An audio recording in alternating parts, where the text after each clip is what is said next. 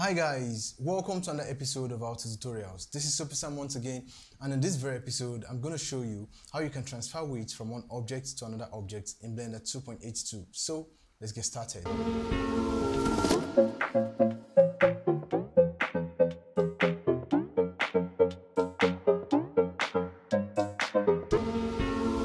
Before I move forward in this tutorial, I'm going to show my overlays first by clicking on this button. So now I have my rig visible. I would like to show you how to transfer weight from the body of the character to the boot. Currently, if I move the, the leg around, you can see the boot is not moving with it. And to transfer the weight from one object to another object, you must make sure that other object has an armature modifier. So I'm going to show you how you can do this. First, click on the object and then come to add modifier. Click on add modifier and then you look for armature.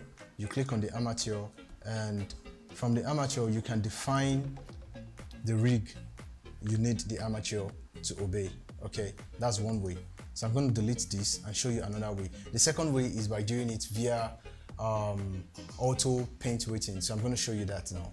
To do that, you click on you click on the, the object and then you hold down shift and click on the rig and then you go to the object mode and use the shortcut control P. And you're going to see this option with automatic weight so I'm going to click on with automatic weight as soon as you do this go back to the object mode click on the object and then come here to the modifier then you can see the armature right here and it says Noah rig. Noah is the name of the character by the way. So when you move the character's feet now by going to pose mode and you click on the rig and you move the feet, the boot goes along with the character rig. But there's a problem. You can see that uh, the boot is not deforming well and that brings us to the next stage of this uh, tutorial. I'm going to show you how you can transfer the weight from the body to the boot okay? Because this auto uh, paint weighting action did not really work well in this example.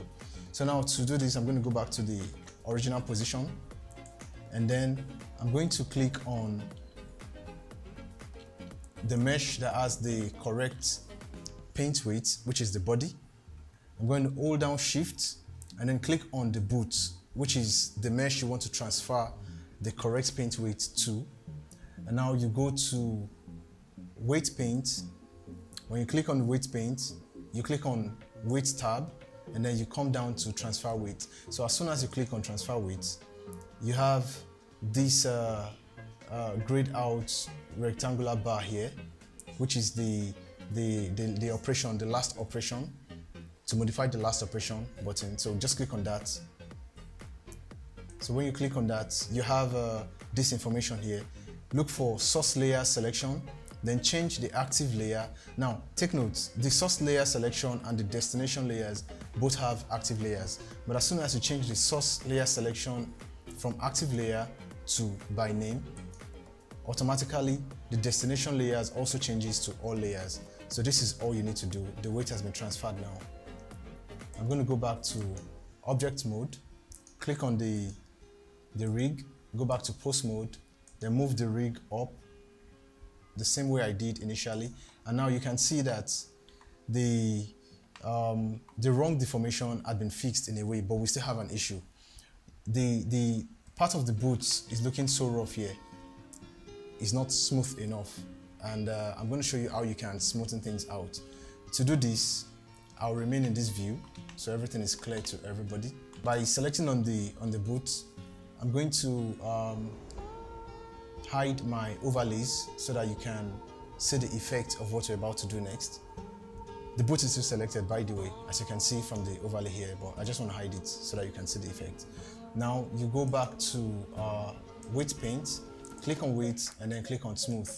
So when you click on smooth, you can change the subset from active group to all groups That is, you want to smooth all the vertex groups of that particular object that is selected. So I'm going to change it to all groups and as soon as I do that, you can see it has been well smoothed out here. Then you can also change your factor. I currently have my factor as uh, 0.5. Um, I'm going to change this to 1, which is the highest. And then you can see it, it got smoother. So you can keep doing this iteration anytime you want to.